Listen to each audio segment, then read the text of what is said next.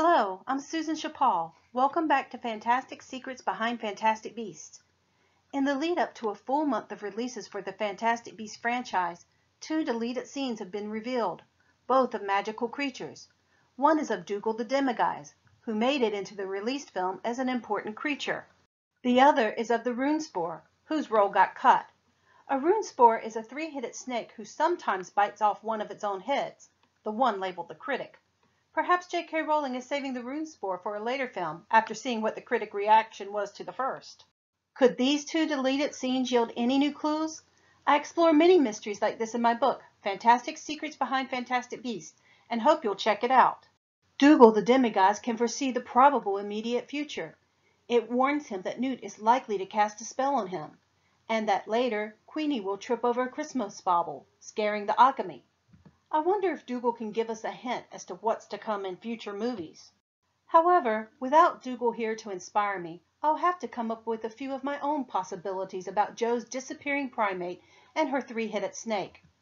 When I was writing my clue book, I covered the Runespoor, even though it didn't appear in the finished movie, because it was on the cover of the script book. Now we see that the Runespoor was originally in the movie, so it most likely has an important role to the series. The left head of the Runespoor is the planner, the middle the dreamer, and the right the critic.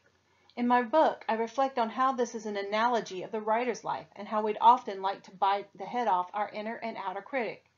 Here, however, I'd like to focus on two other possible theories. A bigger clue I see from these two creatures are their native locations and a possible visit to each. The Runespoor hails from Africa, the Demiguise from Asia. Rowling hints at Africa with several clues, and a couple of Asia. The Fwooper, Nundu, and Erumpent are all native to Africa. Indeed, Newt confirms to Tina that he just returned from Equatorial Guinea, which is located in Central Africa, and we know he's been in Sudan, where he met the young female Obscurial. But the strongest clue pointing to these two continents is within the pentagram office scene, where five world leaders are given speaking roles. Madame Picquery from the U.S., the unnamed British envoy, and Heinrich Eberstadt of Europe, then Mamalou Waterson, whose name is of African origin, and Madame Ya Zhou, whose name literally means Asia. We've been told that Fantastic Beasts 2 will be set out of Paris, and it's been hinted that future films are likely to be cast around the world. Thus, I believe the Runespoor and Demiguise are a couple of clues pointing to future film visits to both of these continents. The location of the Runespoor in the deleted scene is also intriguing. It's pictured in a cave, while in the original 2001 Fantastic Beasts textbook, it was associated with a forest. There are many mythical references of serpents in caves, and they're usually chthonic beings, mythical creatures or deities related to the underworld. Quite often these chthonic serpents are entwined about a staff or tree representing the tree of life or the caduceus, such as you see with the tree of life in the Garden of Eden and Hermes' staff.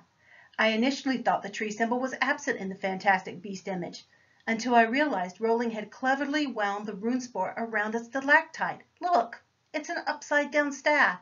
It's a three-headed caduceus. Hermes, the god most famous for carrying the caduceus, was a bringer of dreams and a guide to the underworld. His serpent entwined wand or staff was used in healing, often through both giving dreams or waking a person from them. As a chthonic deity, he used his caduceus to bring death or even restore life. What I find most exciting about the possible symbolism of the Runespoor as a caduceus is that its heads are reaching out to Jacob as if to strike him, perhaps as a forewarning of the ending, where Jacob's memory will be erased in what is described as a state of wakening.